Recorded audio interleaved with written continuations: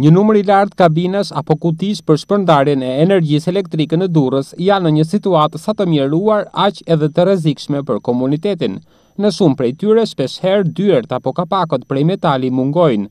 Ato janë vjedhur për skrap, ku për hirtë të disa kilogramve metal rizikohet një komunitet i tërë.